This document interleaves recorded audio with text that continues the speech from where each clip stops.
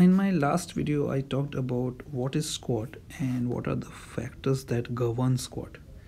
Uh, in this video, I'll be talking about the practical calculation of squat.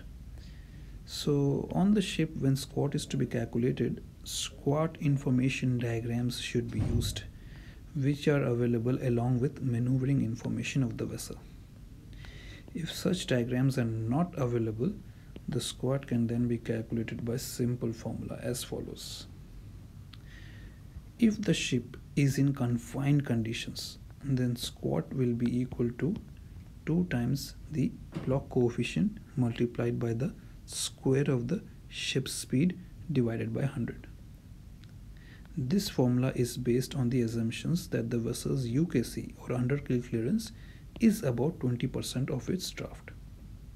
So let me repeat the formula for you. Twice the block coefficient. If you don't know what block coefficient is, block coefficient is the ratio of the ship's underwater volume to the ratio of a triangle having the same length, breadth and depth.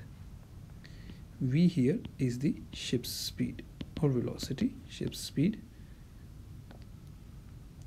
and the key thing here is that the formula is based on the assumption that the vessel's under keel clearance is about 20% of its draft. The second formula is when the vessel is in open waters, not in confined conditions of narrow channels or traffic separation schemes. In this case, the squat is equal to block coefficient multiplied by the square of the ship speed divided by 100. So the only thing that goes missing here is the 2 that occurs in the previous formula. The above formula are empirical and developed by analyzing the results of at least 300 ships. Hence, these formulae have slight error on the higher side and therefore contains a margin of safety.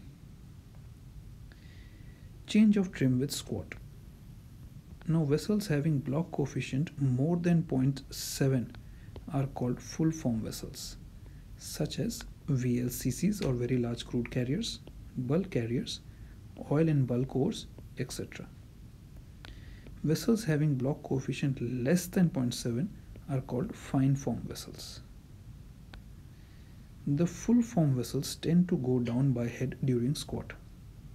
The fine form vessels tend to go down by stern during squat. It is basically dependent upon the longitudinal location of the center of flotation LCF and the longitudinal location of the center of buoyancy known as LCB. The full form vessels usually have LCB forward of LCF. So the center of buoyancy longitudinally is forward of the center of flotation. So in case of less of buoyancy or loss of buoyancy due to squat, vessels tend to go down by head and vice versa. In such cases, the general formula for squat calculation is squat equals block coefficient multiplied by the V raised to the power 2.08 divided by 30 multiplied by the blockage factor denoted by S divided by 1 minus the blockage factor in brackets raised to the power 2 by 3.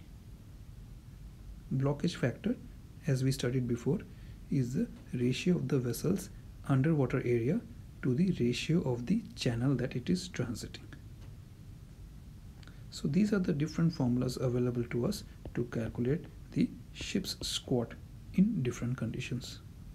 Let me know what you thought about this video guys and I'll see you soon with few more topics in the topic of ship handling. Bye.